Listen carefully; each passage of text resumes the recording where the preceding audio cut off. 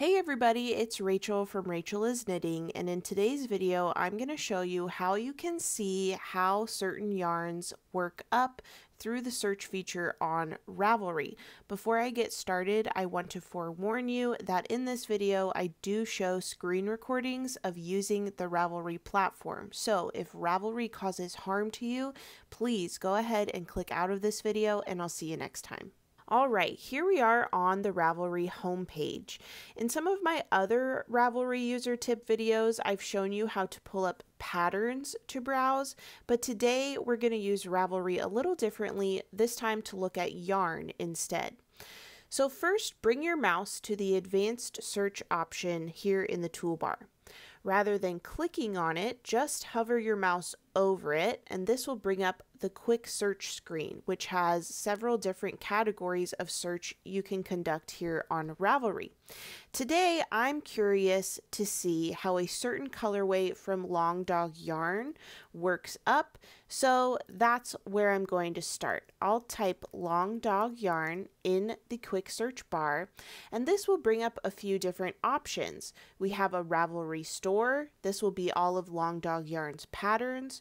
We have Yarn Company Long Dog Yarn. We have just yarn by itself, long dog, etc. The yarn company option is what I'm looking for, and this will bring me to Long Dog Yarn's homepage here on Ravelry. You can see that there are all of these different yarn weights listed. This is kind of like the menu offerings that Long Dog Yarn has as has been entered into Ravelry. Now to see how a certain colorway works up, I'm going to click on Projects here at the top right of the Long Dog Yarn hub. This will pull up all of the projects available for public view where users have logged Long Dog Yarn as their yarn being used in these projects. Now, these are all wonderful and beautiful projects, but I'm looking for a specific colorway. So up here in the search bar, I'm going to type the word sky. I'm looking for the colorway over the sky to see from Brandy's Outlander collection, so I've just typed in sky the way that it's written in the colorway name. Now I'll click on this light blue turquoisey search box, and now the only results I should see are projects that log over the sky to sea as the yarn used in the project. Now, as you can see, this doesn't necessarily mean that this is the only yarn that's used in the project. Many of these projects are using multiple colorways. That's fine.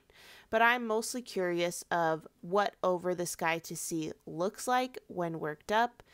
Here we have a beautiful example of a vest and we have lots of sock options, there are a few hats. So this is a great way to look through Ravelry and see how a certain colorway that you may be interested in ordering is going to knit up or work up if you're using a different medium such as crochet. Hope this was helpful and see you later.